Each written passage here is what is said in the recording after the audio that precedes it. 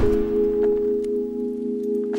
So I was actually going to talk about this a few days ago. This was tweeted on June the 9th from the wonderful Simatically on Twitter. This simmer and some other simmers noticed some changes and differences with the whims. They tweet, did anyone notice that those two whims have a different design than the one we have right now? Is the whims overhaul coming to The Sims 4? Some simmers have whims turned off in their games, some have them on. Personally, I like to use them, but they are flawed. They don't provide many benefits to your sims, and they're just extremely repetitive. There really is no correlation between the whims and your sims' specific personalities. Everything is just kind of random and mood driven. There are many things that are in need of an overhaul, the first one of course being babies, I could talk about that for hours. The second one being the memory system, which we do have, but it isn't really in depth, and then the third now being this. Those are my top three in my overhaul wish list, and I think it's possible that a whim overhaul could be coming sometime in the future. This was a screenshot that was actually shared by the Sim Gurus. Well, if the whims don't look like this, then what do they look like in the game? Simatically responds with how they actually look, which looks very different. The background of the whims have a solid gradient between two shades of the same color, whereas in this screenshot,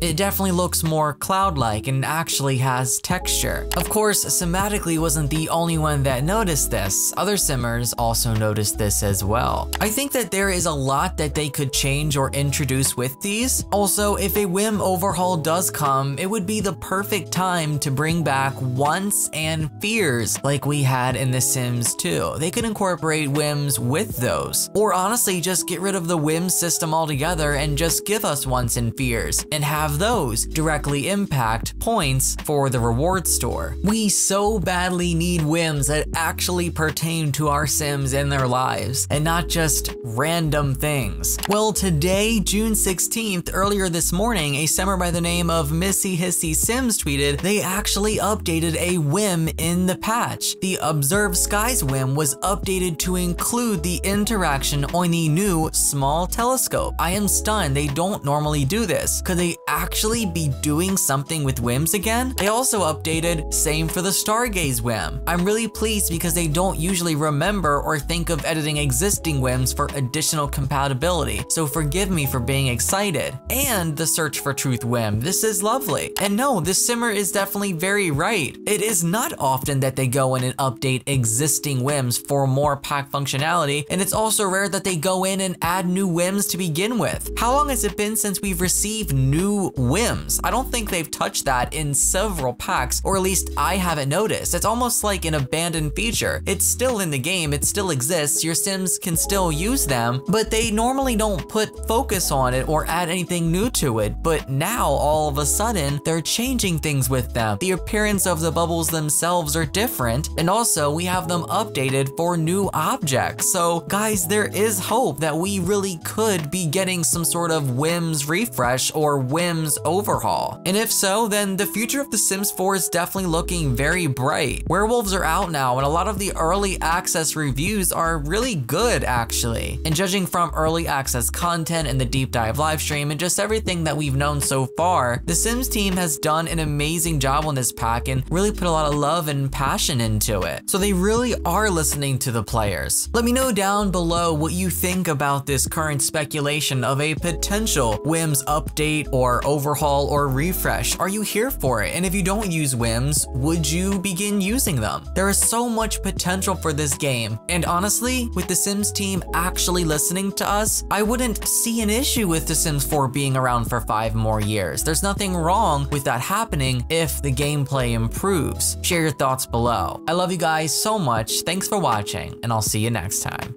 This video was brought to you by my supporters on Patreon. Thank you guys so, so much for your support. If you'd like to join my community over there, a link is below. Thank you for watching.